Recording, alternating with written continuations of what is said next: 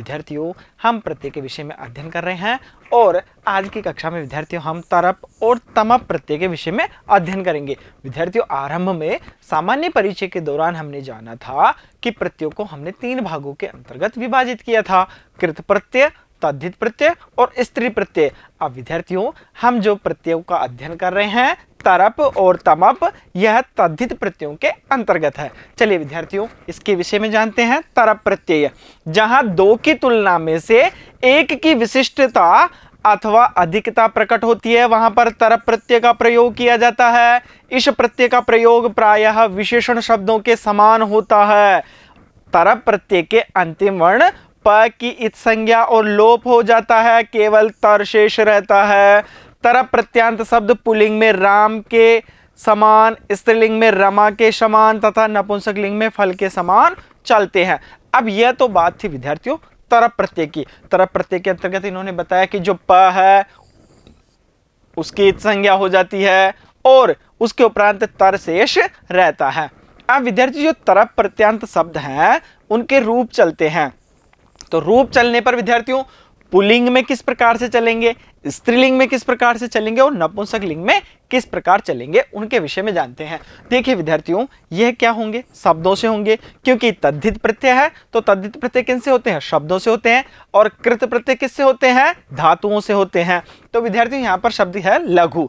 लघु का पुलिंग कैसे बनेगा? लघु और स्त्रीलिंग कैसे बनेगा? लघु और नपुंसक लिंग कैसे बनेगा? लघुतरम उसी प्रकार से गुरु गुरुतर गुरुतरा गुरुतरम कृष कृष कृषतर कृषतरा कृषतरम दृढ़ दृढ़तर दृढ़तरा दृढ़तरम उसी प्रकार से मधुर मधुरतर मधुरतरा मधुरतरम पटु पटुतर पटुतरा पटुत्तरम, कुशल, कुशलतर, कुशलतरा, कुशलतरम। उसी प्रकार से निपुण। निपुण का किस प्रकार से बनेगा पुलिंग में? निपुणतर। स्त्रीलिंग में कैसे बनेगा? निपुणतरा। और नपुंसक लिंग में कैसे बनेगा? निपुण तरम उसी प्रकार से श्रेष्ठ। श्रेष्ठ तरह श्रेष्ठ तरा श्रेष्ठ तरम निकृष्ट। निकृष्ट तरह निकृष्ट तरा निकृष्ट तरम मृद। मृद, क्या है? मृदु। क्या है विद्यार्थी मृदु। तो कैसे बनेगा? मृदु तरह मृदु तरह मृदु तरम जड़ जड़ तरह जड़ तरह जड़ तरम रश्व रश्व तरह रश्व तरह रश्व तरम दीर्घ दीर्घ तरह दीर्घ तरह दीर्घ तरम कृष्ण कृष्ण तरह कृष्ण तरह कृष्ण तरम शुक्ल शुक्ल तरह शुक्ल तरह शुक्ल तरम अब विद्यार्थियों, उसी प्रकार से महत, महतरा महतरा महत्तरम कनिष्ठ कनिष्ठ तरह कनिष्ठ तरा कनिष्ठ तरम वरिष्ठ। तो क्या बनेगा? वरिष्ठ तरह वरिष्ठ तरह वरिष्ठ तरम अब विद्यार्थी, यहाँ पर इन्होंने एक बात बताई कि यहाँ पर जो दो है, दो की तुलना में से एक की विशिष्टता यहाँ पर बतलाई जाती है। अर्थात जो हमारा प्रत्यय है तरप प्रत्यय तरप प्रत्यय के अंतर्गत यह बताया गया है कि जब दो व्यक्तियों में से किसी एक की विशेषता या विशिष्टता बतलाने के लिए हम तरप प्रत्यय का प्रयोग करते हैं।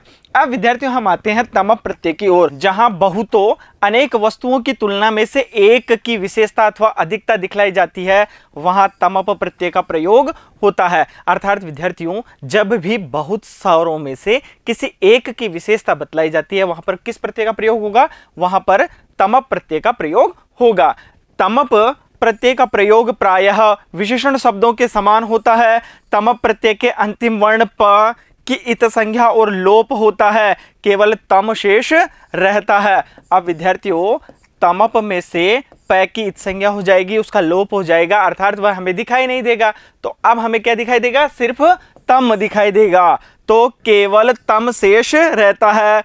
तमप प्रत्यांत शब्दों के रूप पुलिंग में राम के समान, स्त्रीलिंग में रमा के समान, तथा नपुंसक लिंग में ज्ञान के समान चलते हैं। इस प्रकार से विद्यार्थी हमने यहाँ पर समझा कि जब तमप प्रत्यय का प्रयोग होता है तो वहाँ पर तमप के अंतर्गत हमें सिर्फ़ क्या दिखाई देता है?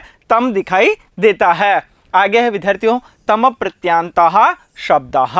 अब विद्यार्थियों, हम जो तम प्रत्यांत शब्द हैं, उनको जानेंगे और उनको समझेंगे। अब विद्यार्थियों, यहाँ पर हम जो मूल शब्द है, उस मूल शब्द के साथ तमप प्रत्यय लगने पर किस प्रकार से उसके रूप बनते हैं, उनको जानते हैं। देखिए, पुलिंग के अंदर, स्त्रीलिंग के अंदर और नपुंसक लिंग के अंदर। लघु धन तमप क्या बनेगा? लघुत्तम लघुत्तमा, लघुत्तमम।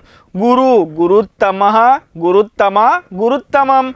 दीर्घ, दीर्घतम दीर्घतम दीर्घतम कृश कृशतम कृशतमा कृशतमम दृढ़, दृढ़तम दृढ़तम दृढ़तम, मधुर, मधुरतम मधुरतम मधुरतम, पटु, पटुत्तम, पटुत्तमा पटुत्तमम कुशल, कुशलतम, कुशलतमा, कुशलतम, निपुण निपुण, क्या होगा विद्यार्थियों? निपुण तो क्या बनेगा? निपुणतमा निपुणतमा निपुणतम निकृष्ट, निकृष्टतम, निकृष्टतमा निकृष्टतम मृदु तो क्या बनेगा? मृदुतम, मृदुतमा मृदुतम जड़, जड़तमा जड़तमा, जड़तमम। महत, महत्तमा महत्तमा, महत्तमम। अब इन दोनों को उदाहरणों के माध्यम से समझते हैं, क्योंकि विद्यार्थियों, हमने यहाँ पर तरप और तमप दोनों प्रत्ययों का अध्ययन किया है। तरप प्रत्यय के अंतर्गत हमने क्या जाना है कि वहाँ पर दो में से किसी एक की विशेषता बतानी है, और तमप प्रत्यय में हमने क्या जाना है, बहुतों में से किसी एक की विशेषता बतानी है। देखिए, राकेश है मोहनाथ पटुत्तर अस्ति।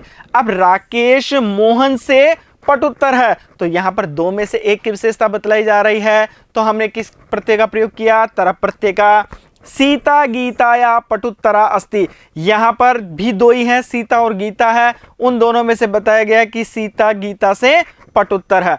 अब आता, अब हम आगे की ओर बढ़ते हैं, विद्यार्थियों, कि वहाँ पर हमने तम प्रत्यय का भी प्रयोग किया है। देखिए, छात्राणाम छात्रेशु राकेश है पटुत्तम क्या है विद्यार्थियों यहाँ पर पटुत्तम अस्ति। तो राकेश किसमें है? छात्रों में पटुत्तम है। अब यहाँ पर संख्या क्या है? बहुत है। तो यहाँ पर विद्यार्थियों, बहुतों में से किसी एक की विशेषता बता रहे हैं। बालिका नाम, बालिकासु सीता, पटुत्तमा अस्ति। अब यहाँ पर बहुत सारी बालिकाओं में सीता को क्या बताया है? पटुत्तमा बताया गया है। इस प्रकार से विद्यार्थियों, हमने यहाँ पर तरप और तमप प्रत्ययों का अध्ययन किया है। अब विद्यार्थियों, हम आगे के प्रत्ययों के अध्ययन के लिए मिलते हैं अगले वीडियो में। तब तक के लिए धन्यवाद।